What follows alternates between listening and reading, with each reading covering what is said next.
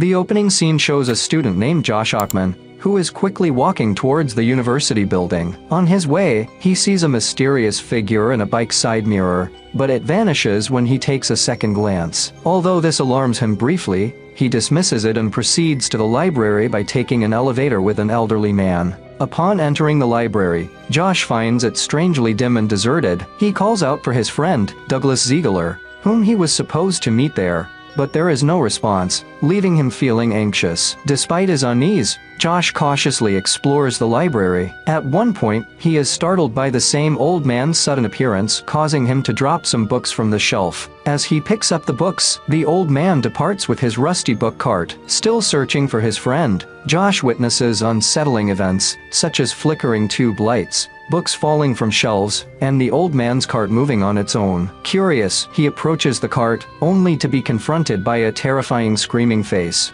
which scares the life out of him. Just then, a creepy humanoid spirit with long fingers grabs Josh's head and drains the life force from his body.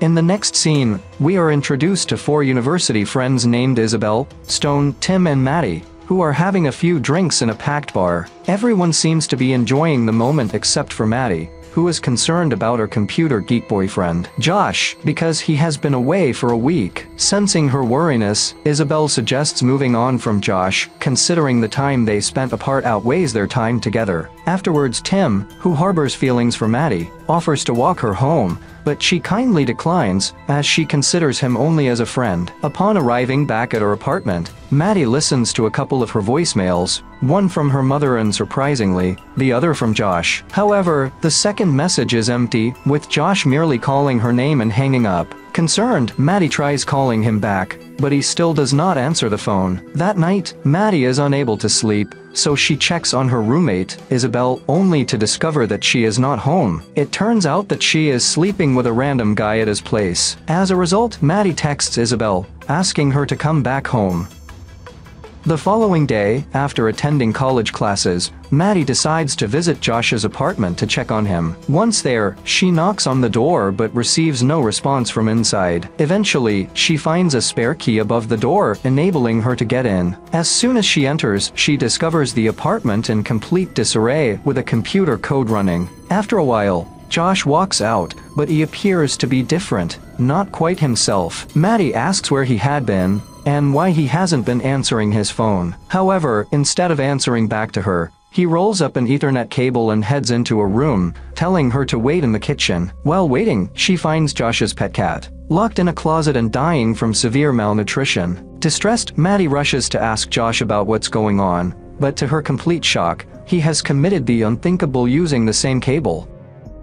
In the aftermath of this traumatic event, Maddie suffers mentally, so she seeks help from a psychiatrist. During one of her sessions, she breaks down, feeling responsible for not being able to prevent Josh's tragic fate. However, the psychiatrist offers reassurance, telling her that it's not her fault, and that Josh may have hidden his loneliness for a long time. Later that day, Maddie's friends try to console her by sending supportive messages in a group chat, but much to their surprise, they receive messages from Josh's account asking for help. The next day, the four friends meet on campus to discuss this strange occurrence. They then speculate that Josh's computer might still be on, and a virus is causing the messages. As a result, Stone decides to go to Josh's apartment and log off the computer. After classes, Stone goes to Josh's place and explores the eerie house. To his horror, he soon sees a pale lady emerging from the wall and advancing towards him. In a panicked state, Stone tries to hide under the bed, but the ghostly entity reaches him and drains his soul, just like what happened to Josh. The next day, Maddie calls Stone to inquire if he managed to turn off the computer, but as expected, the possessed Stone doesn't talk much on the phone. Disturbed by the situation, Maddie decides to take matters into her own hands and heads to Josh's apartment. However, she finds the place being cleaned out and vacant by the landlady. Maddie asks about the computer, and the landlady explains that she has already sold it, because Josh hadn't paid the rent for several months. Despite this, Maddie traces the computer's buyer, whose name is Dex McCarthy, and pays him a visit. She accuses him of using her boyfriend's computer to send strange messages. Confused, Dex shows her that he hasn't even connected the computer, leaving Maddie bewildered as she departs. In order to figure out what she was saying, Dex later plugs in the computer and discovers a series of peculiar videos. Among them, one video shows Josh taking a gun and tragically committing the unthinkable. Terrified, Dex calls Maddie and shows her the distressing footage, leaving her deeply unsettled. A few days later, while at college, Maddie receives a package sent by Josh two days prior to his death. Inside, she finds rolls of red tape and a message from Josh, saying that these tapes keep them out adding to the mystery and confusion surrounding the events. As days pass by, Maddie begins to experience increasingly terrifying nightmares and visions of horrifying spirits. She also witnesses disturbing scenes of people committing the unthinkable right in front of her. These experiences lead her to believe that something evil is pursuing her. One day, she visits her psychiatrist, but even he dismisses her claims as hallucinations. Trying to accept this explanation, Maddie attempts to maintain her normal daily routine and attend college. However, she notices an unusual trend the university is gradually becoming emptier as students stop showing up. One day, while in the restroom, Maddie hears strange noises, so she goes to investigate. Suddenly, she catches a glimpse of someone peering through one of the bathroom doors, which frightens her, and she flees in panic. In the next scene Tim decides to visit Stone, as he has been unresponsive to phone calls for several days. Upon entering his apartment, Tim finds him in a distressed state, tearfully saying I don't want to die. But before Tim can react, Stone is mysteriously pulled into and engulfed by the wall, leaving only a dark trace behind. This terrifies Tim, so he rushes back to his own place and frantically covers the doors and windows with red tape. After covering everything, he looks through the door peephole and at the same time, a humanoid figure with a large mouth suddenly attacks him. On the same night, Maddie's computer turns on by itself and starts playing some strange videos. Scared, she disconnects all the computer wires, but still the printer begins printing some images. Upon assembling the printed pieces, she sees a blurry face. Panicked, she goes to Dex's place to share her findings. In response, he shows her video messages that Josh had sent to Douglas. They also uncover that Josh had hacked into Douglas's computer system and unintentionally unleashed a virus that opened a portal connecting the realms of the living and the dead. It is also revealed that Josh had coded a counter program in order to solve this and even intended to meet Douglas at the library, but he was captured by the entity before doing anything. Before long, Dex finds Josh's counter program inside the PC case cleverly hidden with red tape. Meanwhile, Isabel prepares to do her laundry when suddenly the lights start flickering. Soon, the washing machine's door mysteriously opens, and the clothes inside it tumble out. As she walks closer to investigate, she is horrified by the appearance of a spider-like creature that emerges out and drains the soul from her body.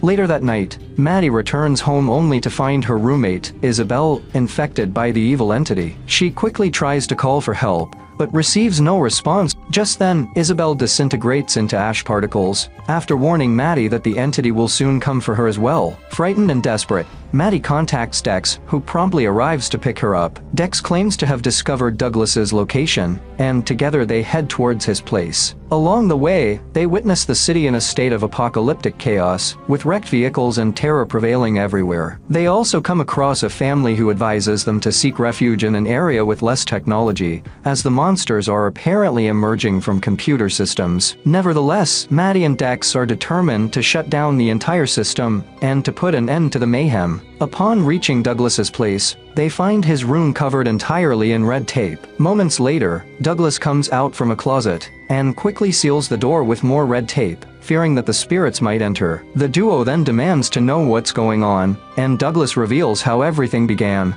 He explains Josh and his involvement in a telecom project, during which they found frequencies that no one knew existed. They opened those frequencies and unintentionally allowed the spirits from another dimension to enter the world of the living. In addition, Douglas discloses that these spirits take away one's will to live, forcing people to kill themselves. After learning all of this, Maddie and Dex realize that in order to put a stop to all of this, they must install Josh's counter program in the server computer, which is located in the university building's basement. With this information in hand, Dex and Maddie make their way to the server room. However, upon arriving at the university, they are threatened by a menacing horde of creepy cyber entities. As they make their way to the basement through the halls, the spirits continue to follow them. Due to this, Dex holds on to the door, urging Maddie to enter the elevator. As she steps in, Dex tries to catch up, but two identical spirits block his path, forcing Maddie to proceed alone. Descending towards the basement, the power suddenly goes out, causing the elevator to stop. Nevertheless, Maddie manages to escape from the stalled elevator and enters the server room. Inside, she is confronted by one of the cyber spirits, which approaches her slowly. Moments later, she finds herself surrounded by numerous ghostly arms that seem poised to engulf her. It appears as if she is going to meet her doom.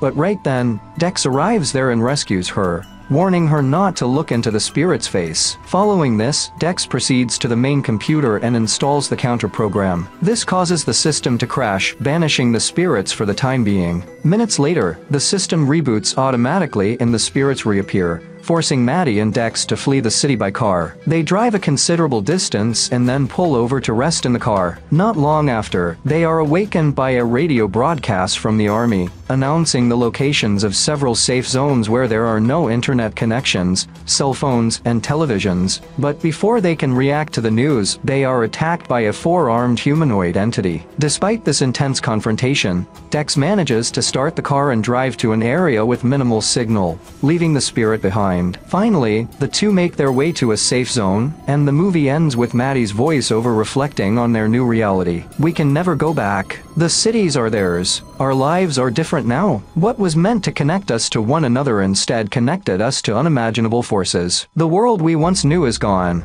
but the will to live never dies. Not just for us, and not for them. So if this video is good then like the video and comment and subscribe the channel. See you soon in another video. Good day.